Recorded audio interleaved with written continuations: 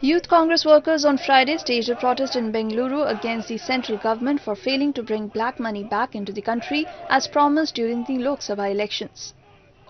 The workers protested with the fake cheque of rupees 15 lakhs carrying Prime Minister Narendra Modi's signature to remind the public that Modi had promised to bring back all black money and had claimed that this would well mean every citizen getting 15 lakh rupees in his or her kitty.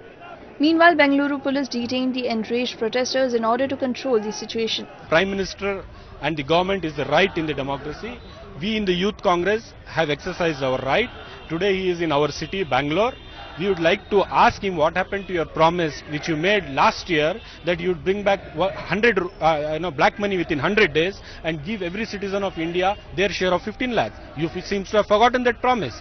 We are going to ask him what happened to your promise which you made to the farmers of this country that you would be protected, your lands will be protected, you will get full value to your produce. What happened to your promise? You have gone back and enacted an ordinance which will arbitrarily acquire the lands without their consent and without social impact assessment. And we are going to ask him what happened to your slogan Sabka Saath Sabka Vikas.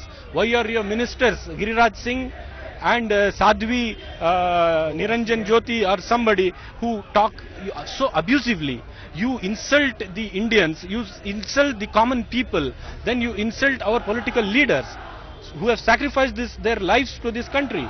You know, they belong to that family. And we, the Congress, Youth Congress uh, workers and the general youth, today we will definitely go there, ask Mr. Modi what happened to your promises. Finance Minister Arun Jaitley had in his budget speech said the government will come out with a new law to effectively deal with black money stashed abroad as well as generation of black money in the country. Correspondent Jaipal Sharma from Bengaluru for ANI.